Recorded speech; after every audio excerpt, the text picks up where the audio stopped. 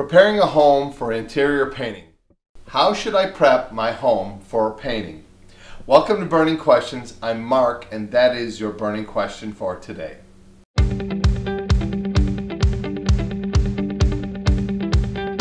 When we're working in our customers' homes, we try to take a methodical approach to preparing your project from the very beginning. So let's talk today about how to prepare for an interior paint project. The night before, we ask the homeowner to remove anything that needs to be removed. We don't want something accidentally to fall off a china cabinet or a dresser top. We ask the homeowner to take off pictures and artwork off the walls and remove any electronics such as TVs, stereos, computer equipment, and sentimental items completely out of the work area. The next day, when we arrive, we always like to set up a staging area at the entry of the home or like the foyer, garage, or any room that the homeowner would like us to put our material and equipment. The first thing we like to do is make sure everything gets dropped completely. We cover with plastic items such as handrails, light fixtures, or even window treatments.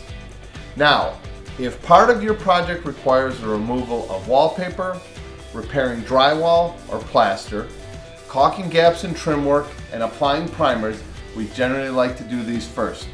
The reason that is because they really require extra drying time. This has to be done before anything else so they dry properly. Now we like to mask off the trim work with tape, sand down the walls and trim work, and then sand any sort of drywall repairs done earlier. As a side note, if your project requires a large amount of drywall repairs, we generally like to bring in our air scrubber to suck up that additional dust that floats in the air to minimize cleanup at the end of the project. I really do believe in my experience working in our customers' homes that preparation is vital to having a job well done. Customer, customers will often comment that they didn't even realize how much is involved prior to the actual painting even being started. Thanks again for joining us. Send in your burning questions and I'll put them out.